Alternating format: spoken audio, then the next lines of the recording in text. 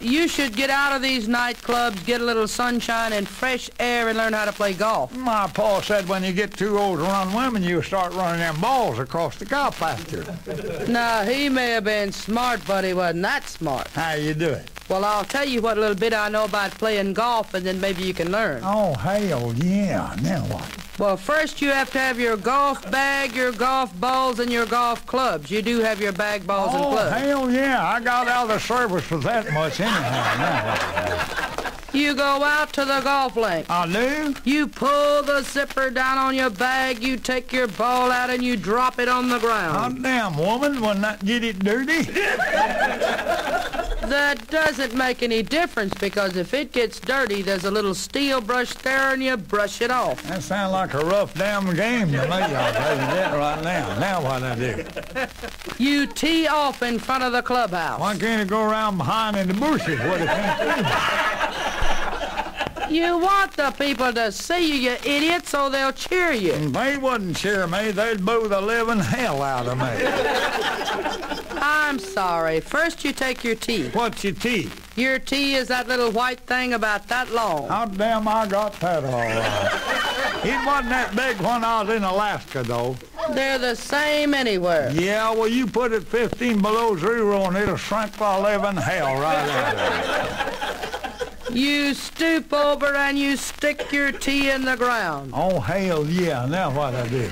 You stoop over, stick your tee in the ground, then you put your ball on top of it. Now, that sounds natural, baby. That sounds natural. Now what I do? Now you take your club. I do. By the way, how do you hold your club? Like the boys in Louisiana, I had to get it between my thumb and my... None of your damn business how I hold my club. You take your you take your club in both hands, thusly. Sound like that old boy from Alabama. You all come. Now what I do? Both hands. right, both hands. Then you throw it over your shoulder. Hold it, woman, hold it. Now, ain't that stretching a little bitty thing a long way, throwing it over your shoulder?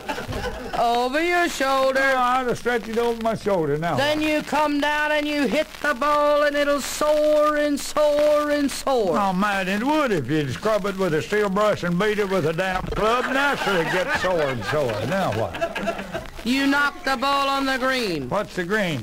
You don't know what the green is either? I don't even know how to play the game in the first damn place. The green is that great big smooth patch with a little bitty hole in the middle. Boy, I'm a hog about that hole in the middle. I may be too old to cut the mustard, but I love to mess around them band patches, I'll tell you that. Now? You pull out your putter. What's my putter? Your putter happens to be the shortest club you own. Look at me, baby. Look at me. You're looking at me now. I'm in the game now. What I do? You take your putter I do. and you knock the ball in the hole. I want to put my putter in the hole. It ain't big enough. You ain't been where I've been. There's just one more thing I'm going to tell you. What's that? And maybe you can talk intelligently about it if nothing else. Oh, hell yeah. Now what I do?